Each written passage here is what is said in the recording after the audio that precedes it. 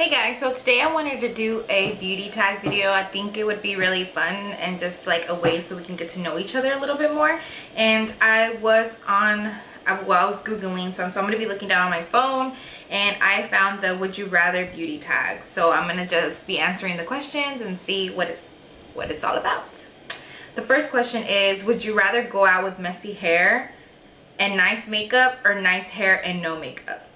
I would definitely go out with messy hair and nice makeup. I think that's like my everyday life. I rather do my makeup than do my hair. I don't really care how it looks. I actually like my natural hair. It's very wavy, so that's fine with me. The second question is, would you rather shave your eyebrows or have your eyelashes fall out?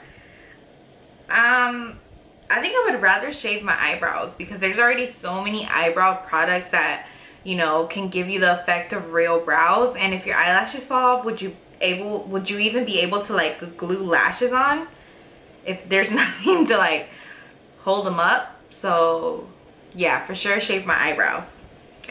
Would you rather be forced to shop only at MAC or Sephora for the rest of your life? This is easy. It would be Sephora because Sephora carries so many other brands and MAC is only MAC. So if you at least shop at Sephora for the rest of your life, you'll be still be having like the hottest stuff. The fourth question is, would you rather wear a lip gloss with lip liner or have an 80s perm? I'll for sure rock the lip liner and lip gloss because I'm Latina. Hey, chola life. Um, the fifth question is, would you rather leave the house with an obvious foundation line or overdone blush?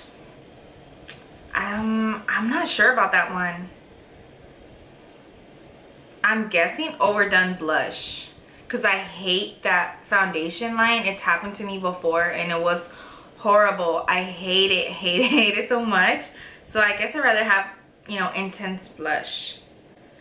Would you rather wear MC Hammer pants or biker shorts in public? Biker shorts for sure because they're actually very comfortable. They're like those lycra shorts and I actually wear those at home. Not biker ones, but like the yoga pants, but in shorts form. I have a bad orangey spray tan or weird tan lines that can't be covered. Uh, weird tan lines that can't be covered. I really don't tan or get spray tans much, but I hate that orangey tan look. That looks pretty bad. So I don't want to be walking around like a Oompa Loompa. Number eight, would you rather have a bad haircut or a bad hair color? I guess bad hair color because the bad haircut if like they chop it up really bad it's gonna take forever to grow because my hair takes forever to grow. But if I have a bad hair color you can always use like hats or whatever until like you can dye it again. Unless it's like really bad chemical chemically done like orange hair oh my god that would suck.